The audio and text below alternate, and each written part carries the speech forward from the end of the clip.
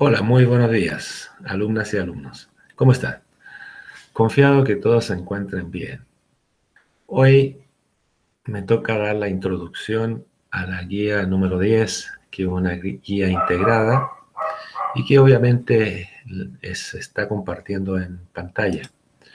Les quiero indicar que en este caso, la guía número 10 tiene, como las anteriores, tres sectores o subsectores, educación física, ciencias naturales y matemáticas. Vamos a dar algunas indicaciones de desarrollo.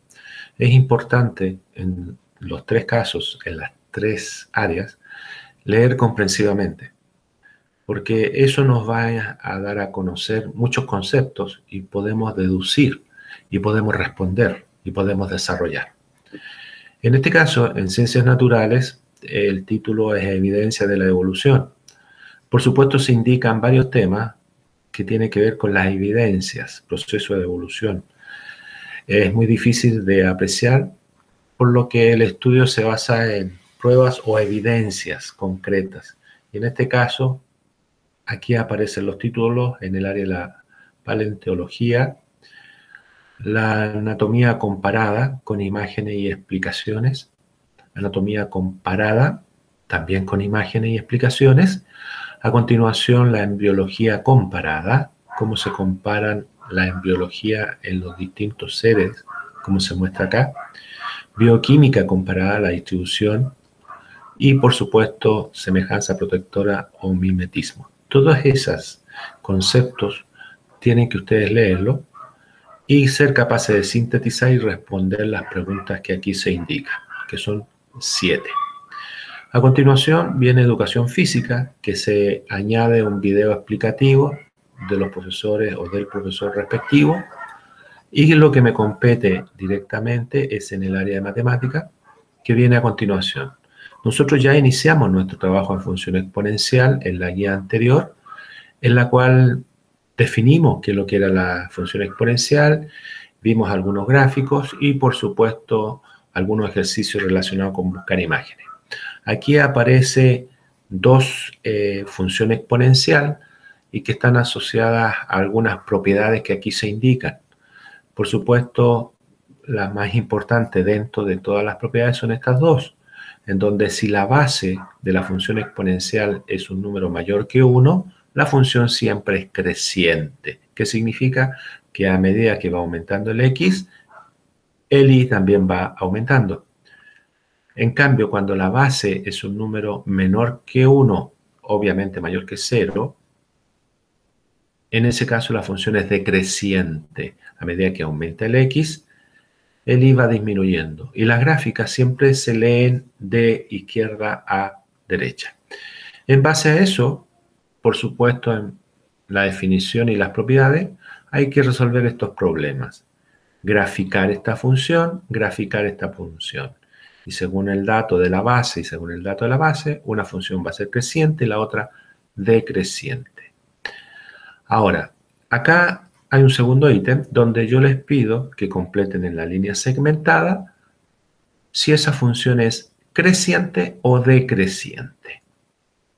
A continuación, le pido graficar otra función donde le doy la tabla de valores. Estos valores hay que reemplazarlo ahí arriba, en el exponente, y luego calcular la potencia. Van a obtener un resultado y eso lo van a poder reflejar en este gráfico y van a obtener una función exponencial. La aplicación de la función exponencial está asociada a todo el ámbito. En ese sentido, eh, adjuntamos un problema de desafío que tiene que ver con el proyecto de comprensión lectura de lectura del liceo, donde aquí aparece un problema asociado a un problema médico biológico, en donde ustedes lo tienen que leer, leer las definiciones de cada una de las variables y luego calcular.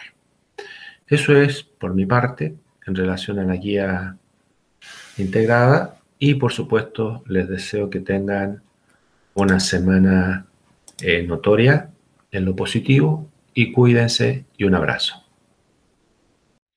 Hola, ¿cómo están queridos estudiantes? Espero que se encuentren muy bien. Para esta oportunidad explicaremos la guía número 10 que radica en un salto vertical. En la parte superior de la guía encontraremos la retroalimentación o el desafío anterior, en este caso un beneficio para el tren superior, que radica desde la cadera hasta los hombros, grupo muscular a trabajar, pectoral, brazos la parte externa tríceps y la parte interna bíceps. El desafío o el squat jump incorpora cuatro pasos de ejecución. Paso número uno, piernas separadas a la altura de las caderas o a la altura de los hombros. Paso número 2, una flexión de rodilla en lo posible 90 grados. Paso número 3, un jump, un salto con la ayuda de los brazos. Y el paso número 4 tiene relación directa con la amortiguación, con la caída de tobillos, rodilla y cadera, punta, planta y talón del pie. El plan de entrenamiento que utilizaremos serán dos. En la parte del calentamiento, un piramidal ascendente con tres ejercicios que ya lo hemos realizado, jumping jack, burpees y push-up, en lo posible con 3 segundos de descanso. Si necesitas de más tiempo, lo puedes realizar. Para la resistencia muscular y cardiovascular emplearemos un sistema denominado ANRAP, que es la mayor cantidad de veces o pasadas que tú puedes realizar en un tiempo determinado. En este caso son 20 minutos, con los ejercicios del calentamiento y el squat jump. Para poder apoyarte con el Squat Jam, puedes acceder a este link.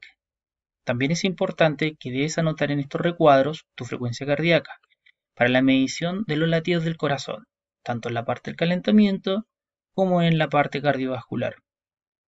También en el vocabulario encontrarás lo que es el plan de entrenamiento y los sistemas a trabajar en esta oportunidad, un piramidal ascendente y un AMRAP.